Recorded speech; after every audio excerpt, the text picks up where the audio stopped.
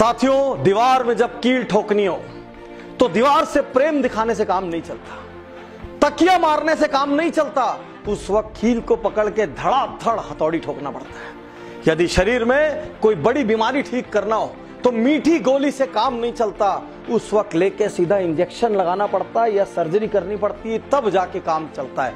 आज मैं तीन कड़वी कड़वी खरी खरी चुभने वाली बातें बोलने जा रहा हूँ। मैं आपका दोस्त लेखक business coach doctor Ujjwal Patni, बातें कहने के पहले ही दोनों हाथ जोड़ के माफ़ी मांग लेता हूँ। बुरा लगे तो लोड मत लेना, लेकिन मेरी बात की गहराई में उतरना। पहली बात, उन लोगों से कभी सलाह मत करना जिन्होंने जीवन में कभी कोई उपलब्धि हासिल ना की या तो उनसे सलाह करो जो बहुत सफल हुए, या तो उनसे सलाह करो जो कि बहुत असफल हुए हैं। यदि व्यक्ति बहुत सफल भी नहीं हुआ और यदि व्यक्ति बहुत असफल भी नहीं हुआ तो वो दोनों ही सलाह करने लायक नहीं है, क्योंकि सफलता पाने वाला इंसान ये बताएगा कि सफल कैसे होते हैं और असफलता पाने वाला इंसान ये बताएगा, ये ये गड़बड़ मत करना।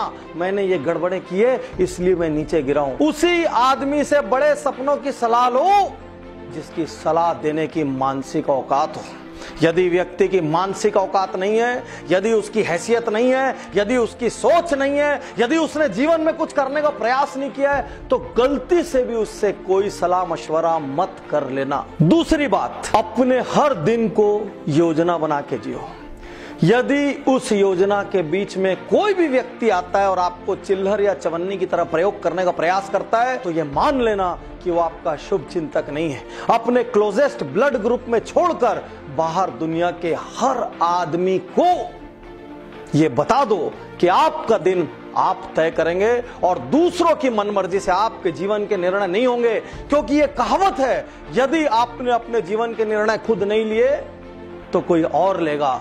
यदि आपके पास दिन की कोई योजना नहीं है तो आप किसी और की योजना के हिसाब से चलेंगे।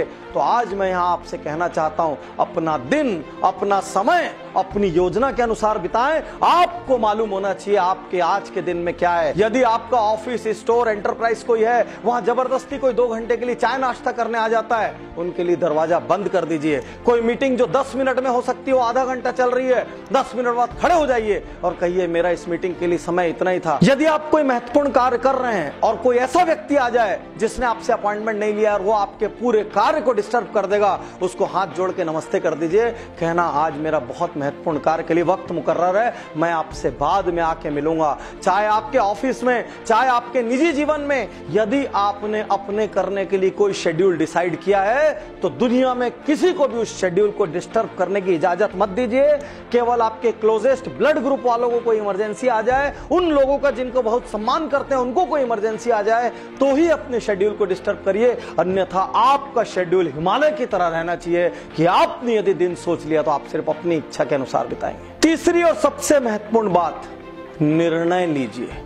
मैंने आज तक मैक्सिमम लोगों को यदि औसत या असफल रहते देखा है तो सिर्फ़ एक कारण से देखा है, वो निर्णय नहीं लेते। हमारे छोटे छोटे कोर्स में ज्वाइन होने के लिए वो पंद्रह लोगों से पूछते हैं, पंद्रह बार सोचते हैं, पंद्रह फ़ोन करते हैं, वो निर्णय नहीं लेते। मज़े की बात है, वो घूमने जाना है तो उसका निर्णय जल्दी ले लेते हैं। वो एक कार खरीदना है तो उसका निर्णय जल्दी ले लेते हैं। वो लग्जरी का निर्णय जल्दी ले लेते हैं। सैटरडे शाम को पार्टी करने का निर्णय जल्दी ले लेते हैं। मूवी जाने का निर्णय जल्दी ले लेते हैं। लेकिन एक ट्रेनिंग प्रोग्राम का निर्णय जल्दी नहीं लेते वो एक अच्छे स्टाफ की हायरिंग का निर्णय जल्दी नहीं लेते हैं।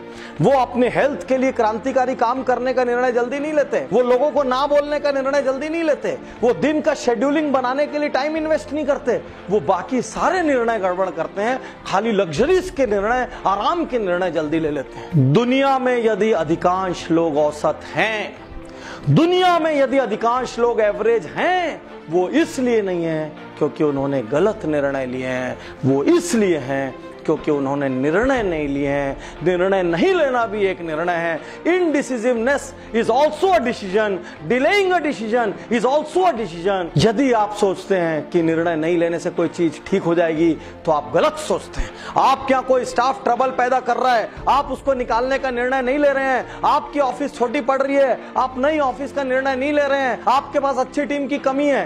तो भी आप टीम हायर करने का निर्णय नहीं ले रहे हैं। आपको पता है आपके यहाँ टेक्नोलॉजी नहीं है। तो भी आप टेक्नोलॉजी का निर्णय नहीं ले रहे हैं। आपको पता है, लोग आपके साथ गप करके टाइम पास करते हैं। तो भी आप उनको ना बोलने का निर्णय नहीं ले रहे हैं। तो एक्चुअली आप एक चीज़ का निर्णय ले रहे हैं, वो चीज़ है असफल होने का निर्णय। मैं एक बार फिर से तीनों बातें दोहराता हूँ। उन लोगों से कभी सलामत करिए जिन्होंने अपने जीवन में कुछ महत्वपूर्ण हासिल ना किया हो या बहुत बार असफल ना हुआ सेकंड अपने दिन को अपनी योजना के अनुसार बिताइए। दुनिया में किसी आदमी को अपनी योजना का डिस्टर्ब करने का अधिकार मत दीजिए। और थर्ड अच्छा हो या बुरा, निर्णय लगातार लीजिए। जो निर्णय लेगा, वही एक दिन बड़ा बनेगा।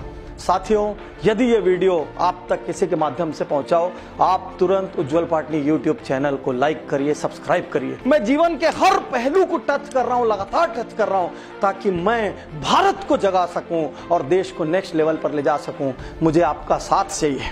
यदि इस वीडियो से आपके मन के किसी कोने को मैंने चोट पहुंचाई होगी तो मैं सॉरी नहीं बोल रहा हूँ। क्यों नहीं बोल रहा हूँ? क्योंकि चोट पहुंचाना ज़रूरी था, मैं वहीं पर वापस लेके जाता हूँ। दीवार में कील ठोकने के लिए हथौड़ी चाहिए और बड़ी बीमारी को ठीक करने के लिए इंजेक्शन चाहिए। दिल दुखा भी है तो समझ लेना पाटनी जी ने जानबूझ के इंजेक्शन लगाया शुक्रिया, धन्यवाद। Thank you